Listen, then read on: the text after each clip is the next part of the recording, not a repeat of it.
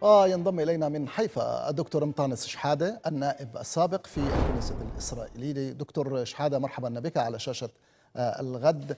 يعني هذه الخلافات التي تعصف بالحكومة الإسرائيلية وحتى يعني يتدخل فيها شخصيات قيادات في جيش الاحتلال أيضا.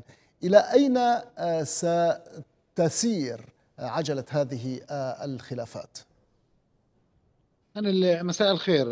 الخلافات في تصاعد والخلافات ستستمر وربما تتعمق بسبب الأزمة العسكرية على أرض الواقع وبسبب عمليا الطريق المسدود لغاية الآن اللي وصلت له الحملة العسكرية الإسرائيلية. صحيح هاي الحرب الإبادة ضد أبناء شعبنا في غزة. هناك دمار وهناك قتل عشرات الألاف وعشرات ألاف المصابين وتدمير شبه كامل لقطاع غزة. ولكن على أرض الواقع إسرائيل لم تحقق الأهداف الاستراتيجية العسكرية الاستراتيجية التي وضعتها. م. وما زال الوضع هكذا وهناك خلافات حول ملف أو كيفية إدارة ملف الأسرى والمخطوفين والمفاوضات. إذا الخلافات ستستمر بالوجود وستصاعد ستزيد وتتصاعد عمليا كل ما كان في أزمة سياسية وعسكرية خاصة بين نتنياهو طيب. وحزب المعسكر الرسمي جانتس وايزنكوت والان يعني دخل ساعر إلى الصورة. م. وفي ظل انتقادات حادة تجاه نتنياهو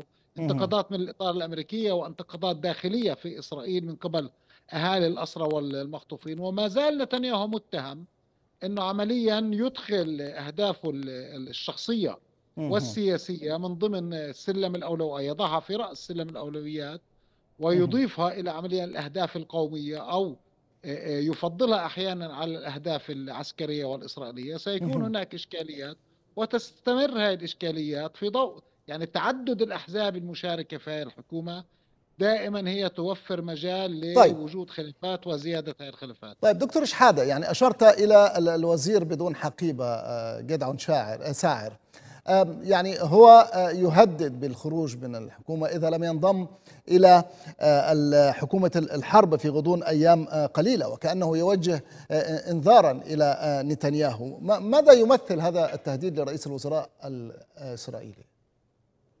يعني أول شيء نتنياهو نجح في تفكيك المعسكر الرسمي مرة أخرى يعني هذا الانشقاق ساعر عن المعسكر الرسمي. يعني يخسرها أربع مقاعد ويضيفها إلى التحالف اليميني. إيه، السابق من 64 مقعد بالإضافة الآن أربع مقاعد هذا يعزز من مكانة نتنياهو لكن صار يبحث عن مكانة سياسية يبحث عن دور سياسي وينظر إلى الانتخابات القادمة ويريد أن يقيم يعني حزب يميني يسميه هو معتدل وعملين اليمين التقليدي الليكود التقليدي هل هل يريد أن يقدم نفسه كبديل لنتنياهو؟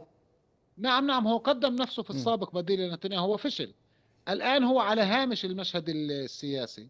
وداخل حزب المعسكر الرسمي لم يكن لديه أي دور جدي ولا مكانة جدية بسبب حالة الحرب. وهو الآن يريد أن أن يخلق أو أن ينتج مكانة سياسية له. وفي هذا الحراك السياسي بين نتنياهو وبين جانتس وآيزنكوت. ولذلك هو عمليا خرج أراد الاستقلال وأن يتميز عن جانتس لأنه هو يعني هو ايديولوجيا هو يمين متطرف ساعر على يمين نتنياهو من ناحية المواقف السياسية. ويريد عمليا أن يكون عنوان الآن لليمين المعتدل هو يسميه يمين معتدل القصد اليمين الليبرالي الذي لا يريد أن يغير جهاز القضاء وهو أو هو لديه مشكلة شخصية مع نتنياهو. لذلك كل هذا الحراك الآن لكي يصنع له مكانة في المشهد وهل أفهم من ذلك دكتور شحادة بأنه نتنياهو سيرفض دخول آه، ساعر إلى مجلس الحرب؟ يعني نتنياهو في ورطة نتنياهو يريد أن يدخل ساعر في مجلس الحرب لكي يقلل من يعني حصة أو تأثير جانس وآيزنكوت في صناعة القرار. ولكن في هذه الحالة في هذه الحالة بن غفير وكذلك سموتريتش سيطلبان يعني نفس الأمر. صحيح هذا المطب الآخر يعني. إذا دخل ساعر إلى مجلس إضاءة مجلس الحرب عمليا كابينة الحرب لكي يعزز يعني الموقف اليميني والموقف الذي يريد استمرار الحرب ويريد يعني تحقيق أهداف إسرائيل بالقضاء على قدرات حماس وإعادة السيطرة على كل الضفة الغربية واحتلال غزة. ولكن هذا عمليا سيؤدي أن يطلب بن كفير الدخول إلى مجلس الحرب وسموتريتش لأن حصتهم شبيهة يعني عدد المقاعد لديهم أكثر حتى من مقاعد سعر لذلك يعني حين ستكون إشكالية جدية لنتنياهو ولا أيضا لجانتس وايزنكوت يعني ستكون حجة أمام جانتس وايزنكوت أن يخرجا منها أن يعني يفككا هذا التحالف لأنه شرطهم الأساسي كان أن يكون مجلس إدارة الحرب بدون بن غفير وسموتريتش يعني في حال ادخال بن غفير وسموتريتش أيضا صيد عن نتنياهو في مازق أمام الإدارة الأمريكية. وأمام الرأي يعني قسم من الرأس الراي العام الإسرائيلي. يعني الأمور مركبة بالنسبة لنتنياهو وكافه الخيارات غير سهلة. لذلك يعني نتنياهو سيحاول مرة أخرى المناور بين كل هذه الضغوطات وكل هذه الاحتياجات وأن يصل إلى طريق ضبابية طريق مبهمة وأن يخدع الشركاء مرة أخرى. يعني نتنياهو كبير في خداع الشركاء وسيستمر في ذلك للخروج من هو, هو ماهر فعلا هو ماهر فعلا في خداع الشركاء لكن هل بنفس المهارة يستطيع أن يخدع آه، الرأي العام الإسرائيلي عندما آه، كان يتحدث اليوم عن أن حكومته وهو شخصيا آه، تواجه أو يواجه ضغوطا دولية؟ لا لا ابدا ابدا. هو لا يستطيع أن يكذب ويخدع بعد الرأي العام الإسرائيلي.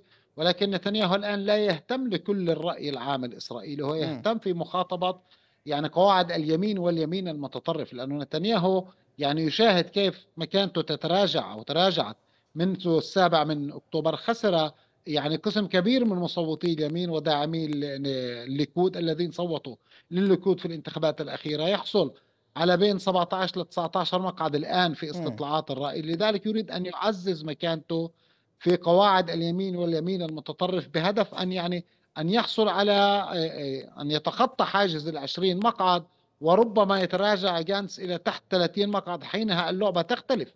يعني يريد أن يعزز مكانته وأن يقلل أو يخسر جانس من مكانته. لذلك يذهب في يعني موقف متشدد. نتنياهو بدأ الحملة الانتخابية.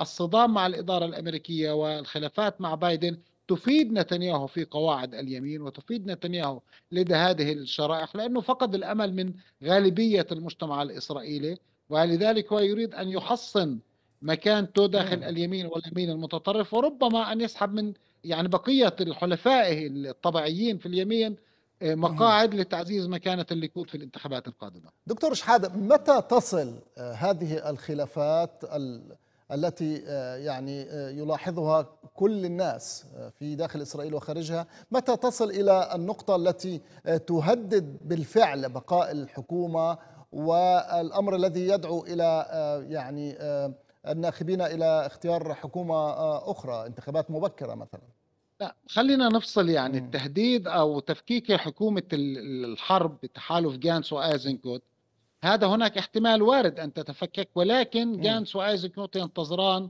يعني في موضوعين مهمان بالنسبة لهم قضية مفاوضات وقف إطلاق النار واطلاق سراح الأسرى والمخطوفين. هم يريدون إنجاز ذلك يعني هم يعتقدون إنهم يمثلون أهالي الأسرى والمخطوفين في كابينة الحرب في مجلس الحرب وهم يعني الصوت العقلاني داخل كابينة الحرب ويريدون إتمام الصفقة. والعامل الآخر هم ينتظرون التطورات في الجبهة الشمالية. هل ستفتح أو تتوسع الجبهة مع حزب الله آه، أم لا؟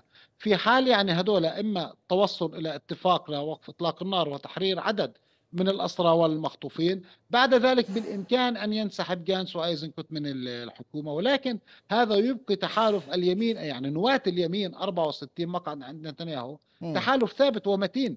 لا يوجد أي مركب من مركبات هذا التحالف يعني لا أحد يستعجل منهم للذهاب إلى الانتخابات لأنه يعرف إذا ذهبوا إلى الانتخابات الاحتمال كبير جدا أن لا يعودوا إلى الحكومة بعد الانتخابات.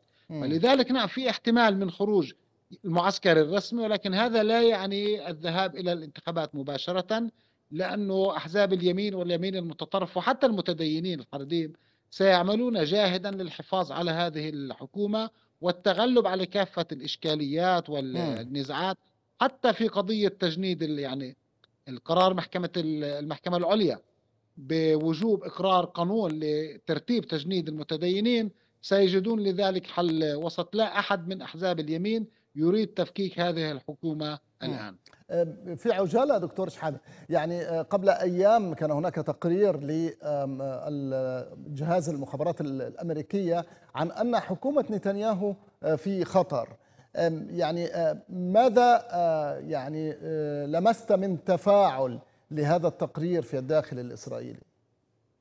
واضح تفاعل جدًا، أول شيء نتنياهو يعني عقّب. على هذا التقرير أو من يعني المقرّبين من نتنياهو هاجموا هذا التقرير والإدارة ال الأمريكية، الشارع الإسرائيلي مرّة أخرى الشارع الإسرائيلي على نتنياهو فقد مكانته وفقد ثقة المجتمع ال الإسرائيلي، نلاحظ ذلك يعني منذ السابع من أكتوبر لغاية الآن إمم. كان في تراجع كبير لمكانة نتنياهو ومكانة حزب ال الليكود. آآ وهذه العوامل عمليًا نعم تؤثّر على الرأي العام في إسرائيل،. الخلاف مع الإدارة الأمريكية يؤثّر على يعني كل من من هو ليس يمين يؤثّر آه، عليه، لذلك نعم هاي تزيد من أزمة نتنياهو ومن ورطة آه، نتنياهو، وتشكل عامل ضغط لتحرُّك الشارع الإسرائيلي، يعني هذا التحرُّك لغاية الآن مهم ولكنه غير كافي ولا يشكل تهديد على حكومة آه، نتنياهو، لأن هاي التظاهرات يعني المطلب الرئيسي هو تحرير الأسرى والمخطوفين وليست ضد الحرب من إمم. يتظاهر يريد الاستمرار بالحرب ويدعم الحرب على غزة وحرب. الإبادة على غزة ولكن يريدون تحرير الأسرى والمخطوفين ويقولون بالإمكان بعد ذلك الاستمرار. بهذه الحرب